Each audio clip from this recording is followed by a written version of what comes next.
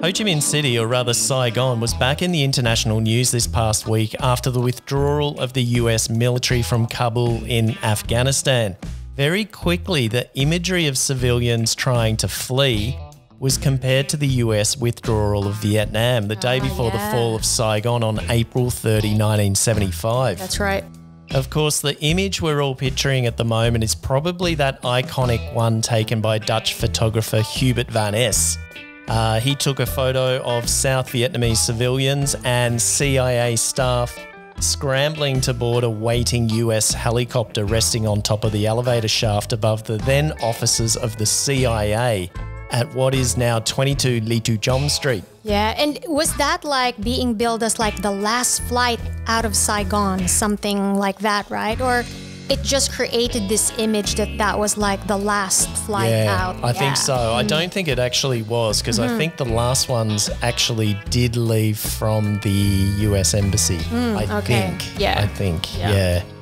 Hey Matt, you did a you did um, a post right a little while ago, Hmm. like featuring that that same spot where a lot of where the helicopter was. Yeah, that's I, I remember. Did you do a video on that? Yeah. Yeah, I did a cool. short video. Yeah, it's on thebureauasia.com. And um, yeah, I always wanted to go up there and uh, I used to look at it because you can actually see the spot. Mm-hmm. The building's still there. The actual elevator shaft that the chopper sort of didn't really Landed? land on it, but was resting on it, Oh, yeah, just yeah, yeah. hovering above it. Um, where the, and then the people ran up the ladder to, to get on board there. It's all still there, and the uh, elevator's still working. There's still well. people living there too. Yeah, there are people living there. There are offices there. Um, so it's all there. And it was sort of this time last year, I think, uh, we found out that there was a cafe that opened it's not up there. there. It's not there anymore. It closed. Um, but it was very, you know, it was one of those places. It was a very, it's a very iconic. Well, that photo is very iconic, and Yeah. uh, it was a good. It's a great place to see um, and just get a feel for it. Um, and yeah, it caught my eye that post that you mentioned, Andy, because this week it started getting a whole bunch more hits. So obviously, people were online you know, comparing. looking at this situation, Historical, couple. yeah. yeah, and um, it's good to know that we're getting discovered as well. unfortunately, Yeah, in so a very in a very bad situation. Yeah, yeah, true, Yeah. true, but still, you know, um, yeah, it's good to good to see. we'll, we'll add it in the. Sh- Sorry. No, I was gonna say uh, for anyone who's, who's listening, like we should add that in the show notes below. Like definitely check out that post. Uh, Matt Yeah, I will for Really, sure. really interesting. Yeah. Um, it's also a place. It's it's a very interesting place because um, even last year when I posted that online, I was getting comments. People were saying, "Oh, that's the U.S. embassy. That's the final, you know, lifting off of, Yeah. of, of the chopper, the last flight out." Um, and there were, I think, there were even people sort of trying to argue the point, and I'm like, "No, hang No, on, no, no, it's no, not. no. It's not it. Yeah. It was the old CIA building." The US Embassy is actually a few blocks further over on Yeah. Mm-hmm. uh, Le Duan Street. Um, and there are, of course, choppers going in and out all day on uh, April 29 and April 30, I Yeah. believe, on the day. Okay, so I thought it would be a good idea for each of us to recommend one historic place or site in Ho Chi Minh City that's kind of off the YouTube trail. Oh, that's difficult because I'm always on YouTube, so all my ideas are from there. Yeah, so uh, that's why we're doing this, so we can provide okay. people with something a little bit different. So right, um, right. hopefully, when uh, this place opens up again to travel, people will go to our post Mm-hmm. and see these things that we suggest. Now, um, it doesn't have to be amazing to look at, Yep. um, and it can Oh, I have the perfect example for that.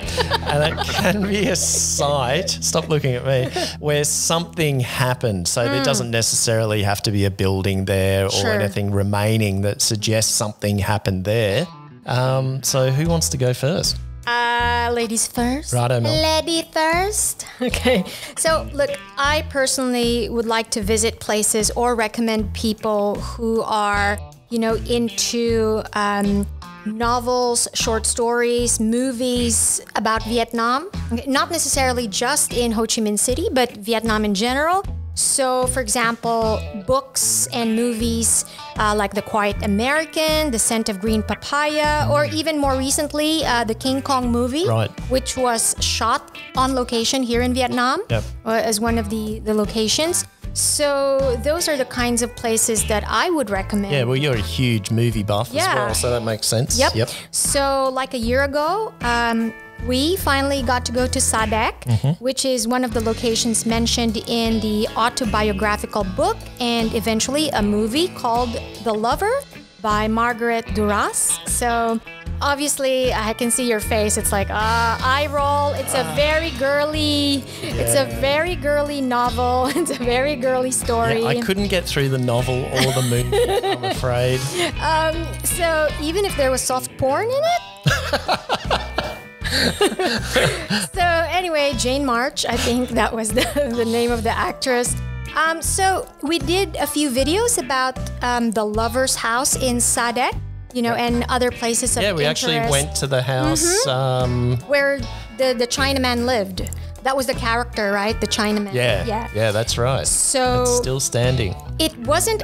It was kind of underwhelming, actually. Yes. Yeah, but It, it, I thought it was suitable because the book and the movie, Ah, I come think, on. are underwhelming. Get so, over so the the lover's house was the icing on the cake. It is, it is a, a in a really nice location. yes, it's near the market, um, near the river. And I guess you do. You get a you do get a good sense of Mm-hmm. What was happening at the time. To find out Matt's uh, full I'm struggling for reaction, words here, to be honest. to find out Matt's full reaction to the lover's house, we do have um, a YouTube video about that. But because you know it was such an interesting place, we also went around. Oh and, yeah, well, yeah, and Sa Dec is a Yeah. is a must visit. Yeah, I, so- I thoroughly enjoyed that place. yeah, so sure. that's my recommendation for when travel comes back. Sa Dec, one. give it a try. Nice one. Hmm? Thanks, Mel. Andy. You know, I like it's not as historic as what um, Mel said. I think I think I'm like, damn, I gotta I gotta find better places to go. It's Um, okay, as long as there are but, better but, drinks. but, You live in a Oh, well- historic area anyway, but yeah. yeah, I, I do live in a historic area, but there's nothing as cool as what you just said. It's like the only cool thing I find is like, oh, there's a lot of hems and they're, they're, they're really really tiny, so it gives you that feel of you know being local, I guess, in a non PC type of way, or or cultured. I don't know. I don't know if I'm going to get crucified saying that. Anyway, I'll move on because I'm digressing and I don't want to get totally demolished. But one place that I probably recommend, um, which adds that kind of Aussie feel, is the Caravelle Hotel. Ah, yes. Yeah. Car- yeah, because the Caravelle Hotel, like it was, it was opened back, like I think 1959. Um, it used to be the embassy uh, for the Australian embassy and New Zealand embassy. Right, that's So right. like Yep. Australian troops, Yep. yeah, uh, depicted in there. And um, you know, I think it had like a really cool, like a famous Vietnamese architect. Um, Ah, that did kinda came in and ah, I didn't know that. Okay. yeah, it, it's like it, instead of it's like modern design, um, and there was like a Vietnamese. Hey, you, you actually on a side note, do you know what I just found out? Um, for anyone who's like interested in like China, for instance, Okay. the, the, the Forbidden City, one of the four, one of the major architects was actually Vietnamese. Oh, So Think about that, like Vietnam. Yeah, so so one of the major architects was the Vietnamese architect. He was a eunuch uh, that, was- that came from North uh, Vietnam Interesting. and did that. But anyway, that would be a reason why you would want to go to City. But if we're in Saigon, Caravelle Hotel is really, really cool. So if you're ever in, you know, when things open up again, Caravelle Hotel, super duper cool, has an Aussie vibe to it. It's also downtown. Um, so you can easily, if you're on a romantic date, kind of walk up and down.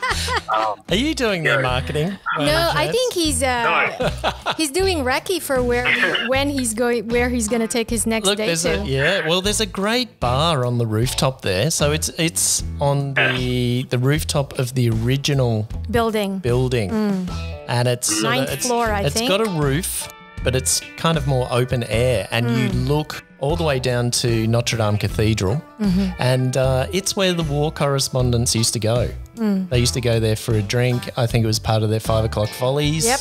Um, and across diagonally across from the building, of course, you've got the, the opera house Yeah. downstairs in front of the caravelle, but diagonally across the um, the old Eden building used to be there. Yeah. Of course. And, Where the uh, shopping mall is now. Yeah, there's a shopping mall there, and it's turning into Is the. it Vincom? Is it called Vincom? Yeah, I think Yeah. Mm. it's owned by them, but it's also now turning into the Oriental Hotel. Hotel. Is yeah. that what it's called? Five um, star. big five star hotel. So they've they've been doing that up.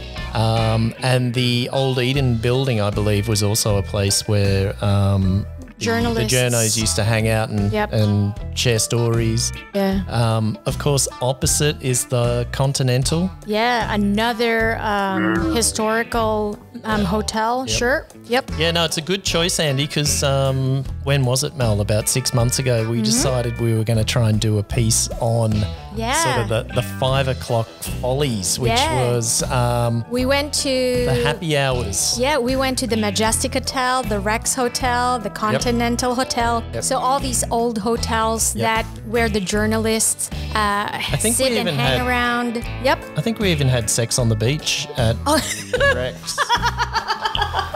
the Rex uh, has a lot of those old. I'm talking about cocktails, of course. Um, and it's it's a great that bar up there is huge. Yeah. and it gives you a great view down Nguyen Hue Street, Mm-hmm. the walking street. Yeah. But I think from memory, what we found out, I think we went to four or five places Yep. over a period of a few Sundays. Yep. Old hotels. Yep. The the winner for me was the Continental. Yes. They had a happy hour that was about half the price of everybody else. And you can just people watch. People watch. You get And- Mm-hmm. a cocktail for about a hundred, five bucks, hundred thousand or something. And towards uh, late in the afternoon, like maybe four o'clock, the sun Yep. is like hidden. Well, obviously, it's not a direct sun. And then you can just relax there, people watch, and just, you know. That was winter Yeah. too. Well, our cooler Yes. month, so it was beautiful. Um, all right, I better give you mine. I'm going for something a little uh, off-piste. Okay. I'm suggesting a church. Hmm. Which, uh, Mel, your eyes just opened wide up. Ah. um, and it's not, not Notre Dame, um, which I believe is the oldest church in Ho Chi Minh City. Okay. Uh, correct me if I'm wrong. Mm-hmm. Uh, the one I'm talking about is the Thu Thiem Parish Church. Okay, And the Lovers of the Holy Cross Convent. Ooh, lovers of the Holy Cross. I should have queued that one up.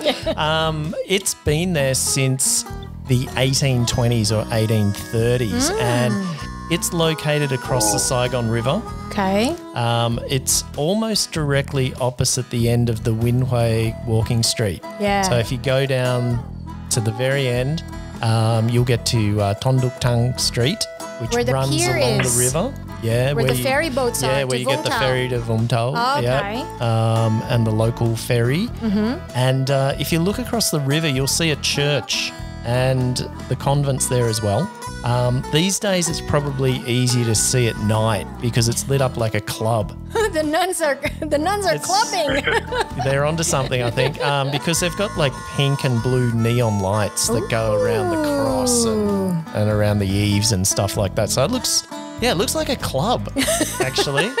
Um, so I don't know what they're, they're up to, but it looks really cool. And um, now, guys, I don't know if you, well, Mel does, but I don't know about you, Andy, but I'm an ex dairy farmer. Ah, that's why your family farmer? name. I yeah. grew up on a dairy farm. in That's why your family name is Cow One. Um, yeah, I, what? I need to look into that history on my name. Uh, but I wasn't really officially a farmer, but my father was a dairy farmer. And um, five years ago or so, I did a magazine piece on, on this particular church and um, the Thu Thiem Church. And uh, that was because at the time it was earmarked for relocation. Yeah. It's, um, no, you know, no one knew what was going to happen to it. And But it's still there. It survived. yeah, they've they've managed to survive, and I've read uh, recently that they're going to stay there despite all the development. And uh, when I was there, I was snooping around before the the nuns knew I was there, and I came across a small dairy. Wow. So there's actually a small dairy um, to the side of the the uh, church. How many cows did they have? Uh, I don't know. They, they've just got a small number Okay, there yeah. Mm-hmm. in the shed, and they milk them every day. And uh, I guess it's for the nuns and the Mm. congregation, and well, I couldn't believe it. so um, They're very self-sufficient. These nuns. you can't see it if you don't go there. You've really got to go there Yeah. and see it. Um, I hope they're still there. Yeah. I'm not sure. I haven't been there for a few years, but um, you know, it's probably the world's most urban dairy farm. Now that's an award I'd be proud of. Mm. Yeah. sorry, sorry, Tan Son Nhat Airport. We have a dairy run by nuns in a hidden club. in the ce- with a club in the center of Ho Chi Minh City. Now that's way more worth a travel gong. That's cool. I want to go. yeah.